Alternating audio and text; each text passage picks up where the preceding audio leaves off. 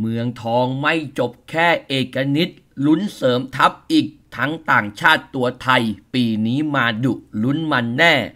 ด้าน BG ขุมกำลังโหดสุดไทยลีกอย่างกับทีมชาติไทย ขึ้นเต็งแชมป์เรียบร้อย สวัสดีครับ ขอต้อนรับคุณผู้ชมเข้าสู่ช anel ตองซุยกับผมต้องพนุวัฒน์นะครับ ในคลิปนี้มีเรื่องราวของเมืองทองมาฝากกัน หลังจากที่ได้ตัวเอกนิตปัญญาล่าสุดมีมาอัปเดต กันอย่างต่อเนื่องนะครับ รวมไปถึงเรื่องราวของ BG ปทุมก็มีมาฝากกันด้วย ขณะที่ช่วงแรกของคลิปนี้นะครับ ฝากคุณผู้ชมช่วยกันกดไลค์กดแชร์และกด Subscribe ให้กับช anel ต้องซุยกันก่อน เพื่อเป็นกำลังใจให้กับผมต้องพานุวัฒน์นะครับ คลิปนี้ไม่รอช้าไปเข้าสู่เนื้อหากันเลยดีกว่าครับ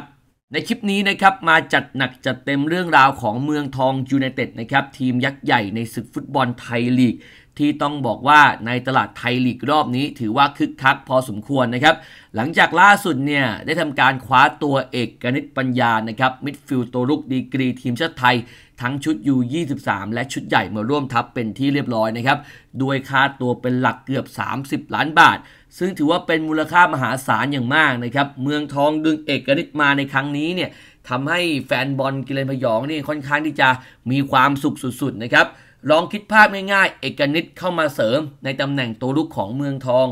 มาประสานงานกับเฮนรี่อานิเยีย มาประสานงานกับวิลเทพป้อมพันธ์ซาดอมีซาเยฟ พิชาอุทา บอกเลยว่าจะทำให้แนวลุกเมืองทองหน้าดูสุดๆ ถึงแม้เอกนิตจะไม่ได้อยู่ในฟอร์มการเล่นที่ดีเหมือนในช่วงก่อนจะเจ็บ แต่ผมเชื่อว่าเขาจะกลับมาดีได้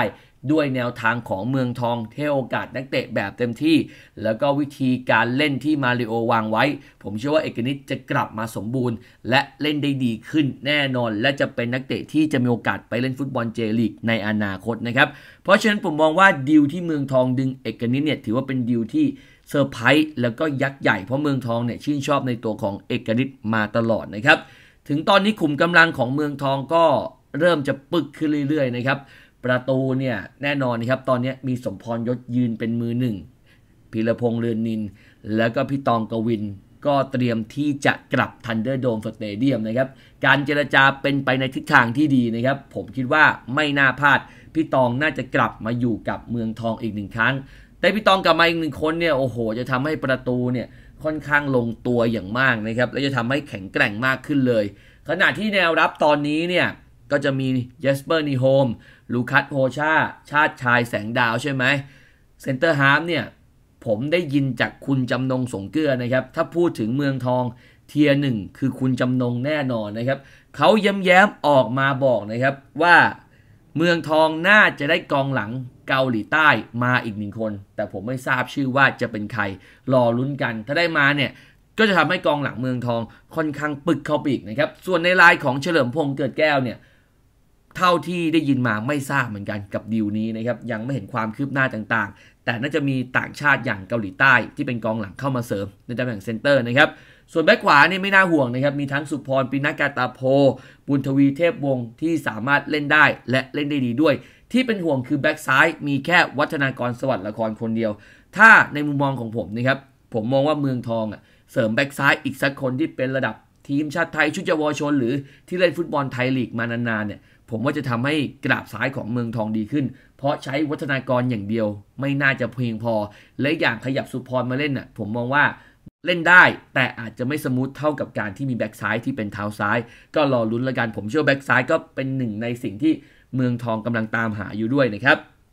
ขณะที่แดนกลางเนี่ยค่อนข้างลงตัวแล้วนะครับ พิชาวิรเทพป้อมพันธ์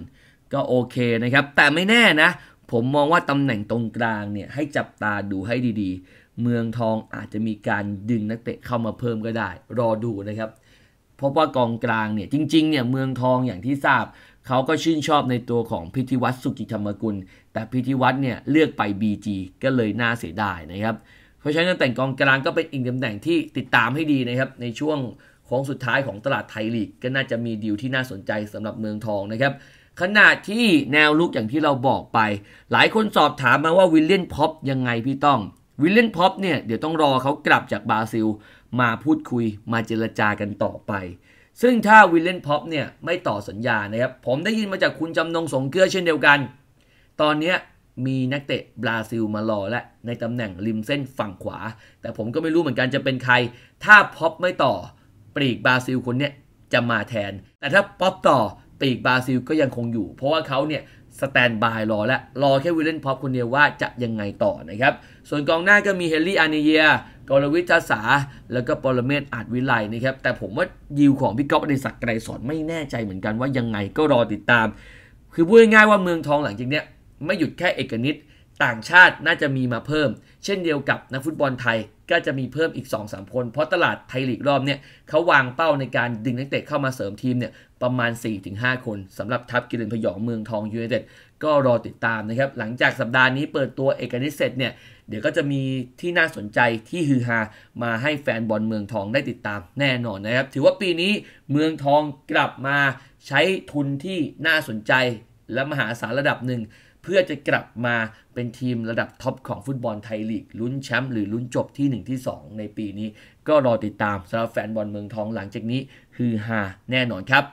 จากนั้นมาพูดถึงอีกหนึ่งทีมเต็งแชมป์ฟุตบอลไทยลีก แล้วผมมองว่านี่คือทีมเต็งหนึ่ง ก็คือ BG ปทุมยูไนเต็ดนะครับ การที่พวกเขาตัดสินใจดึงพิธีวัตรสุขจิตธรรมกุลมาจากเชียงราย ด้วยค่าตัวมหาศาลเนี่ย ผมบอกเลยนะครับทำให้กองกลางของ BG ตอนเนี้ยแข็งแกร่งที่สุดแล้ว ลองคิดภาพง่ายๆนะครับ พิธีวัตร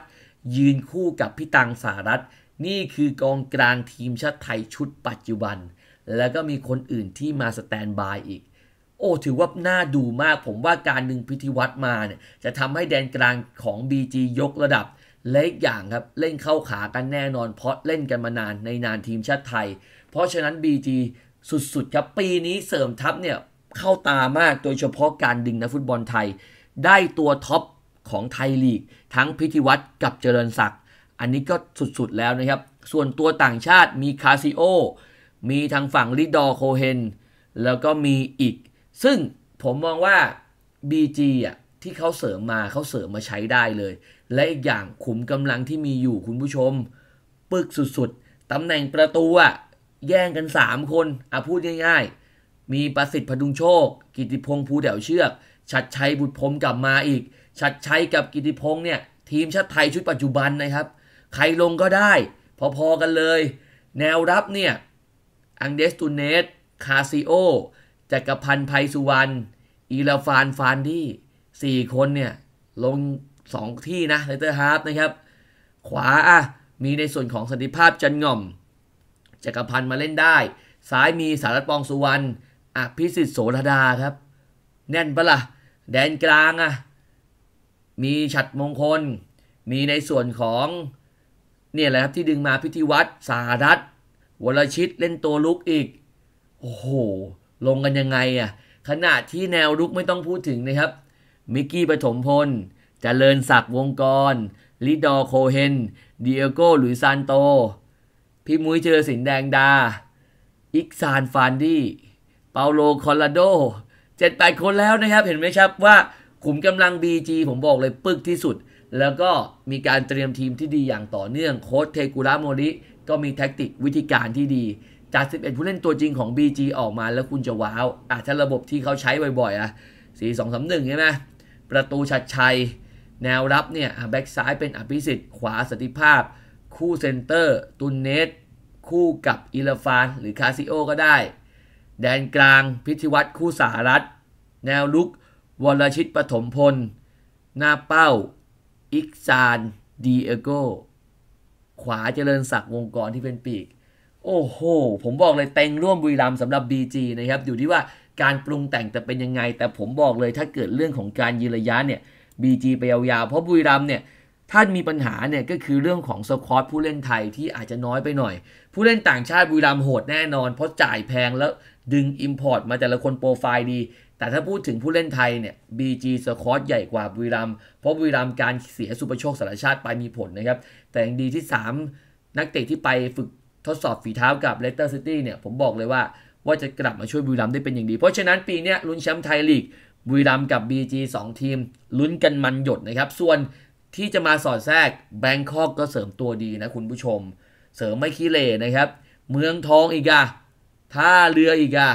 โอ้น่าดูนะครับ เพราะฉะนั้นไทยลีกปีนี้เป็นปีที่สำหรับผมมองว่าคึกคักมาก ๆ ให้จับตาดูให้ดี แต่เต็งหนึ่งผม ผมยกให้ BG นะขุมกำลังโหดมาก และทีมชาติไทยทั้งนั้นน่ะ 11 ผู้เล่นตัวจริงทีมชาติไทยเกือบ 11 คนแล้วอะ บวกกับนักเตะต่างชาติอะ เพราะฉะนั้นสควอตทีม BG ตอนเนี้ยดีมาก ๆ แล้วผมบอกเลยนะครับเขาสู้กับระดับเอเชียในฟุตบอล AFC Champions League ที่จะแข่งขันในช่วงเดือนสิงหาคม สนุกสุดมันแน่นอน ติดตามให้ดี